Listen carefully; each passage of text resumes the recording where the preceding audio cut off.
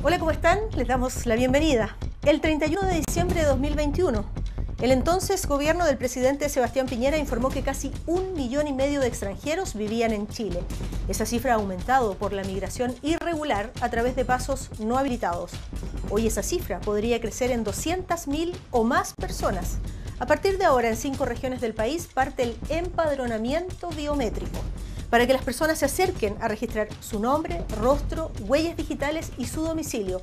No es un perdonazo ni una regularización masiva, como sí ocurrió el año 2018, dice el subsecretario del Interior, Manuel Monsalve. A fines de diciembre de 2021, en Chile había un millón y medio de extranjeros, según datos oficiales del Instituto Nacional de Estadísticas pero el ingreso irregular de migrantes ha hecho crecer esta cifra. Hoy se estima que hay 200.000 o más personas extranjeras en situación irregular.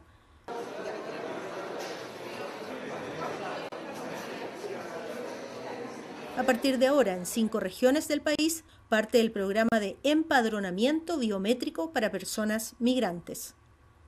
Espero poder regularizarme, de que me den opciones para estar acá con papeles y trabajar legalmente. Llevo dos años aquí en, Chile y pues el proceso para estar legal aquí pues me parece bastante bueno.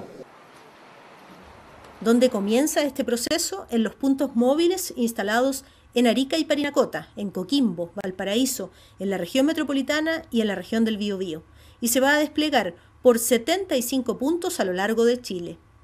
Ya se ha dispuesto el inicio de estos eh, móviles que van a estar instalados en cinco regiones inicialmente eh, de nuestro país y acá en la región metropolitana también en diferentes sectores donde van a poder acercarse estas eh, personas a empadronarse y comenzar este proceso de regularización de su condición migratoria en nuestro país.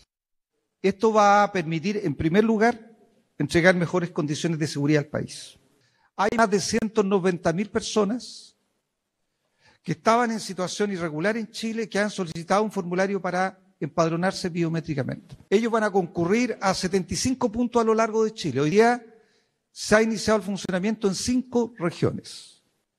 Se está haciendo empadronamiento biométrico hoy día en la región metropolitana, en la región de Valparaíso, en la región del Biobío, en la región de Arica y Parinacota y en la región de Coquimbo. Este proceso de empadronamiento biométrico, a cargo del Servicio Nacional de Migrantes y la PDI, va a entregar información del nombre, rostro, huellas digitales y domicilio de cada persona migrante. No hay un perdonazo, ni tampoco el empadronamiento es sinónimo de regularización.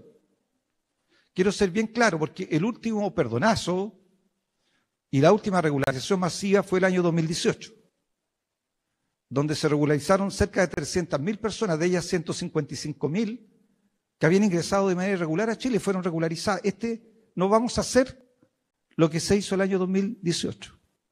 Esto no es un perdonazo, tampoco es un proceso de regularización masiva. Esta es, en primer lugar, una acción de seguridad con el objeto de poder tener la identidad de aquellas personas que están en el territorio nacional. ¿Qué se sabe hasta ahora de los migrantes en Chile? Que el 60% está viviendo en la región metropolitana y le siguen Valparaíso, Biobío y Antofagasta.